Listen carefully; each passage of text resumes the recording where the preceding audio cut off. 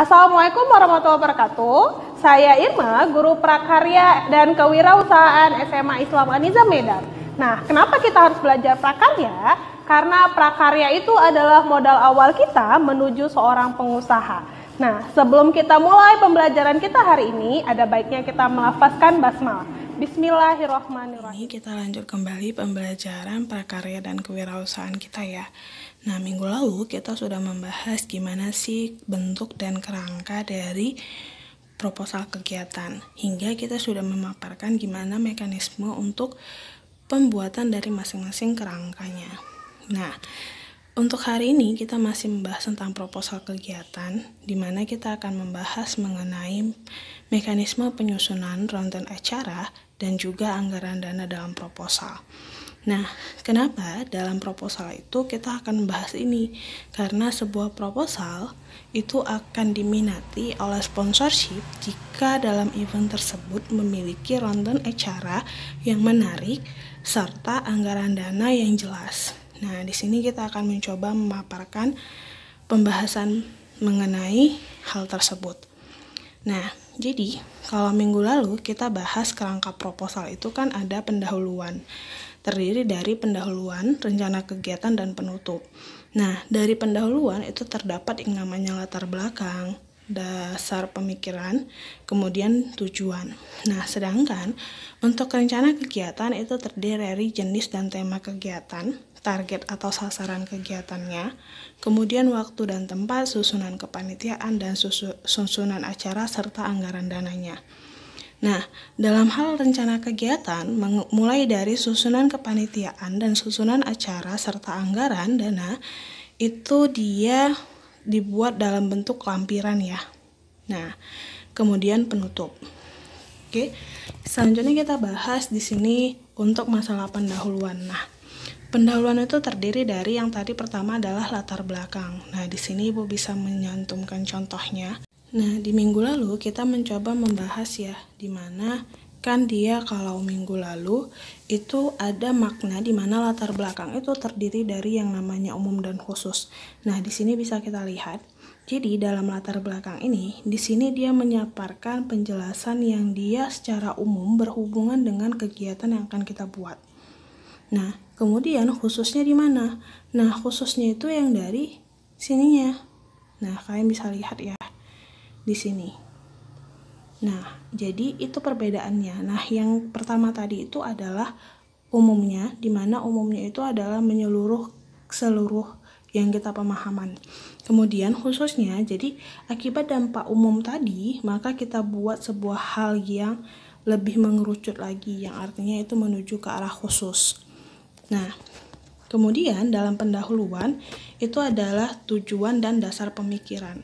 Nah, untuk dasar pemikiran serta tujuan di sini konsepnya ya. Nah, jadi dasar pemikiran ini bisa kalian kutip dari mana aja. Yang di mana, kalau dasar pemikiran ini berarti alasan kalian das awalnya kenapa pingin buat event ini karena apa. Nah, tujuannya juga harus jelas. Kemudian, kita lanjut ke dalam rencana kegiatan. Nah, rencana kegiatan itu terdiri dari jenis dan tema kegiatan. Nah, kalian bisa lihat contohnya seperti ini ya. Kemudian, uh, lanjutnya adalah sasaran atau target kegiatan. Nah, untuk sasaran dan target kegiatan serta waktu dan tempat kalian bisa lihat di sini ya. Nah, kemudian untuk susunan kepanitiaan, kemudian susunan acara dan anggaran dana ini kan terlampir. Nah, di sini kita akan mencoba bahas. Namun, untuk susunan kepanitiaan kalian bisa lihat referensinya banyak ya untuk di internet ataupun Eh, file-file uh, yang bisa kalian searching di Google. Nah, kita akan membahas di sini adalah untuk susunan acara atau rundown acara serta anggaran dananya. Nah, di sini ini contoh biasanya di dalam proposalnya ya. Nah, di sini susunan kepanitiaan seperti ini. Jadi jelas di situ dibilang susunan panitia terlampir lampiran satu. Nah, jadi setiap proposal itu ada memiliki lampiran tiga jenis. Yang pertama, lampiran pertama itu adalah susunan kepanitiaan. Lampiran keduanya itu adalah susunan acara dan lampiran ketiganya itu biasanya adalah anggaran dananya. Nah, kita akan coba bahas satu persatu ya. Nah, yang pertama itu rundown acara. Nah, sebelum kita mulai ke rundown acara, kita buat dulu kita konsep terlebih dahulu kira-kira dalam acara tersebut apa aja yang bakal kita buat dalam event tersebut. Nah, jadi contohnya misalkan ibu buat seperti ini. Nah, misalkan kita pasti buat yang namanya persiapan acara. Nah, dalam hari H acara itu biasanya persiapan acara itu kalau misalkan ada perlombaan dianggap itu seperti registrasi atau kalau misalkan tidak ada jenis perlombaannya itu biasanya dibuat persiapan acara di mana di situ momen kita menunggu untuk para undangan ataupun peserta dalam event kita tersebut berdatangan. Nah, yang kedua itu adalah pembukaan. Berarti acara sudah dimulai. Kemudian uh, biasanya itu kan kalau event di sekolah kita itu saat pembukaan itu maka akan membacakan ayat suci Al-Quran terlebih dahulu atau tilawah kemudian dilanjutkan dengan doa, kemudian kata sambutan. Nah, setelah kata sambutan, kalian bebas membuat hal apa aja yang memang mau kalian konsep di dalam event tersebut. Nah, makanya di situ ibu buat dan sebagainya. Jadi, contohnya dia dalam bentuk tabel ya. Usahakan buat rondon acara kalian dalam bentuk sebuah tabel. Jadi biar lebih terperinci dan juga mudah untuk dilihat. Nah, contohnya ini di sini ada 5 tabel. Nah, jadi susunannya apa aja kita perhatikan satu-satu. Nah, tabel pertama itu berisi hari dan tanggalnya. Nah, kalau di dalam event ini yang Ibu contohkan yang di sini kita buat dalam empat hari ya. Jadi tiga hari untuk perlombaan, satu hari acara puncaknya. Nah, kemudian yang kedua itu adalah tabel kedua adalah waktunya. Jadi, untuk mekanisme urutan waktunya dalam rondon acara itu harus jelas dan terperinci. Kemudian kegiatannya apa? Selanjutnya itu adalah lokasi. Jadi untuk mempermudah peserta ataupun para tamu undangan untuk mengetahui di mana event-eventnya akan dilaksanakan. Nah, dan yang terakhir adalah penanggung jawabnya. Nah, penanggung jawab di sini biasanya terdiri dari yang melaksanakan mekanisme dari masing-masing kegiatan dalam rondon acara kita mulai. Jadi kita anggap kan satu harinya aja ya yang hari pertama.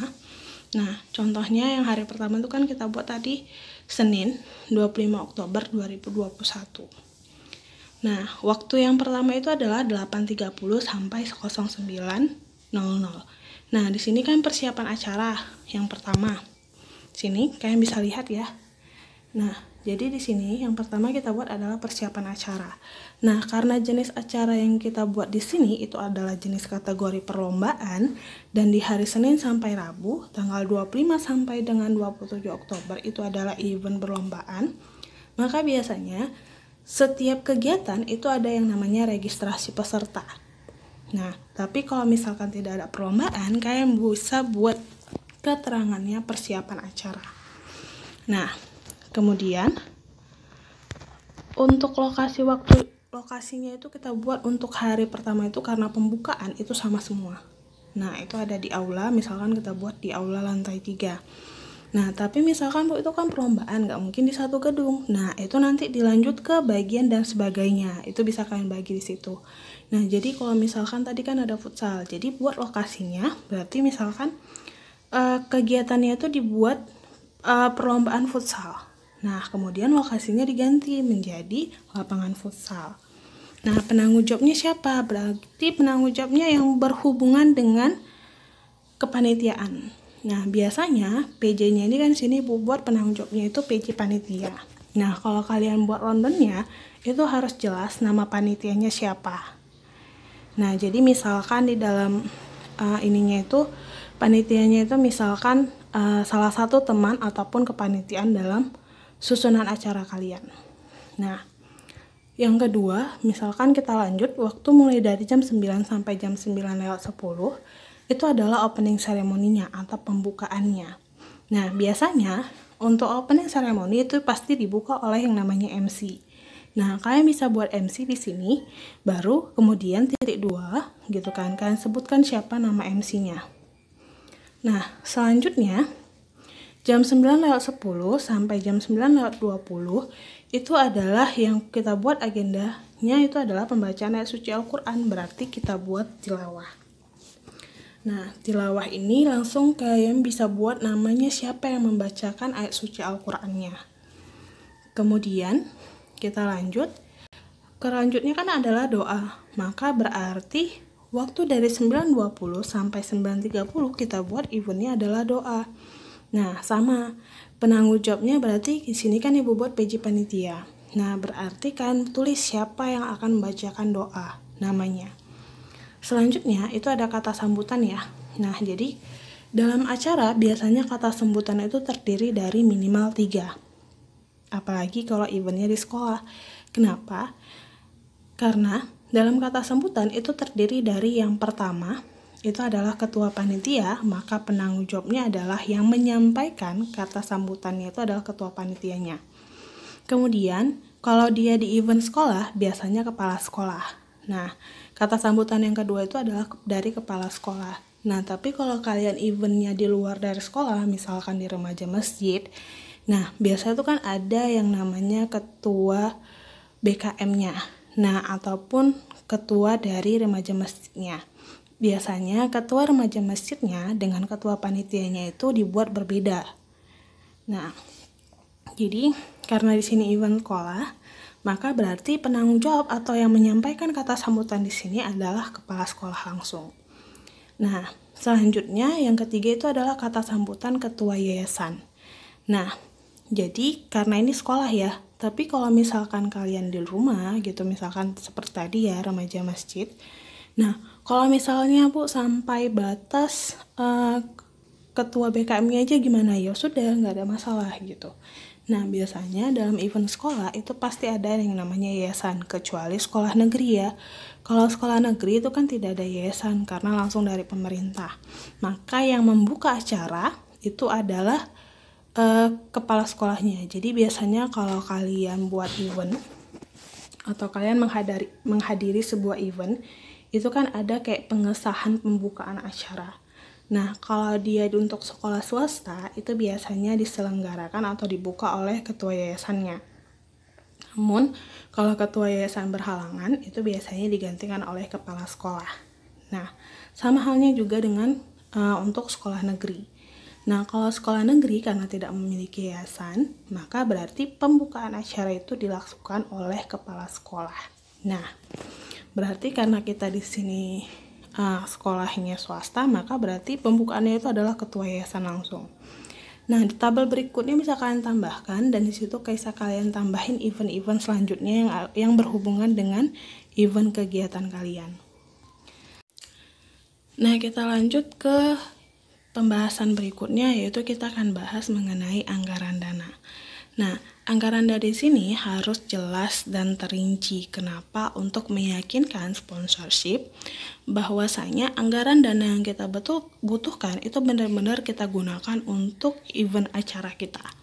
Nah, di sini karena event acara dalam hal ini Ibu buat ada sebuah perlombaannya. Nah, jadi untuk anggaran dana sama dengan rundown acara ya. Jadi kalian harus buat dulu list kira-kira apa aja yang kalian perlukan dalam event tersebut. Nah, karena di sini eventnya ada perlombaan, maka di sini ibu buat yang pertama itu adalah piala. Kenapa piala? Karena pasti setiap perlombaan itu ada yang namanya piala ataupun medali. Nah, untuk hal ini ibu buat ininya itu adalah piala. Kalian juga bisa ganti piala itu dengan medali. Jadi tergantung dari kesepakatan panitia. Kemudian uh, kita perlu yang namanya proposal. Nah, proposal di sini fungsinya untuk apa Bu maksudnya? Nah, proposal di sini maksudnya itu adalah kita membuat anggaran untuk penggandaan proposalnya. Kenapa? Karena kita akan menyebar sponsor proposal sponsorshipnya ini ke beberapa sponsor yang memang dia ingin bekerja sama sama kita. Nah, ataupun yang ingin kita ajukan ke sponsor untuk bisa menjadi sponsorship dalam event kegiatan kita. Nah, yang selanjutnya itu adalah pastinya dekorasi. Jadi setiap event pasti memerlukan yang namanya dana untuk kebutuhan dekorasi dalam event tersebut. Nah, kemudian ada spanduk, kemudian ibu buat snack, dan kalian bisa nambahkan eh, jenis-jenis uh, anggaran yang kalian perlukan lainnya. Nah, jadi sama halnya juga ya, untuk anggaran dana kita juga harus buat dalam bentuk tabel. Kenapa? Agar mudah untuk dipahami dan dilihat. Jadi, dalam tabel ini isinya apa aja? Yang pertama itu adalah nomornya. Kemudian, jenis kebutuhannya apa aja, lalu jumlahnya berapa, harganya persatuan berapa, dan totalnya berapa. Kita mulai dari yang pertama kan tadi adalah piala. Nah, kebutuhannya tadi piala, jumlahnya karena di sini ada 7 jenis perlombaan maka 7 set. Nah, untuk piala tergantung dari berapa jenis perlombaan yang kalian buat. Jadi kalau misalkan dia tiga perlombaan, maka berarti ditulis jumlahnya 3 set. Nah, harga satuannya misalkan kita buat itu adalah 150.000 untuk satu set. Nah, satu set itu bukan satu buah ya, tapi terdiri juara satu, dua, dan tiganya.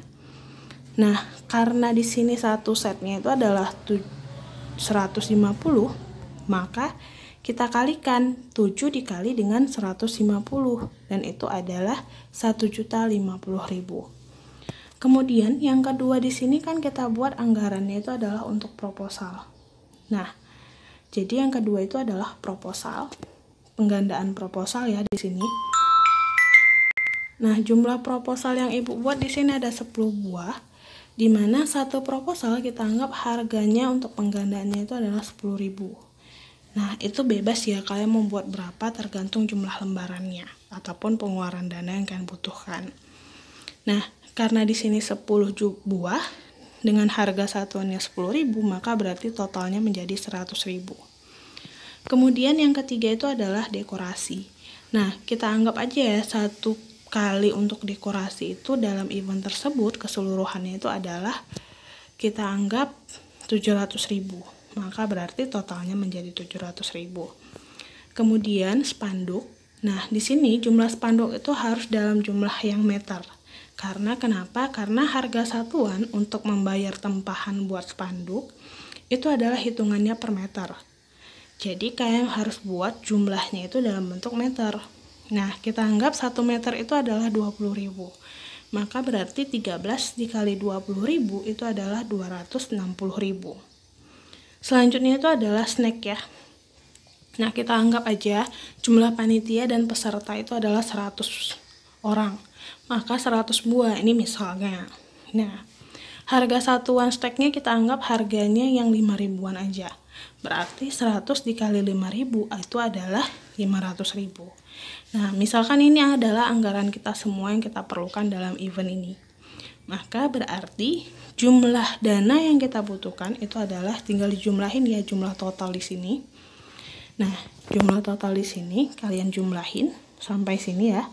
Itu hasil di sini adalah 2.610.000. Nah, berarti itulah anggaran dana yang kita butuhkan dalam event ini. Mungkin itu materi kita hari ini mengenai mekanisme penyusunan, rundown acara, dan juga anggaran dana. Nah, mungkin bisa membantu kalian lebih terperinci untuk membuat yang namanya proposal kegiatan. Sebelum kita akhiri pembelajaran kita hari ini, ada baiknya kita melapaskan hamdalah. Alhamdulillahirabbil alamin. Nah, tetap semangat ya belajar pengusaha muda dan jangan lupa like, kemudian komen, and share. SMA Islam Anizam unggul cerdas Islami. Assalamualaikum warahmatullahi wabarakatuh.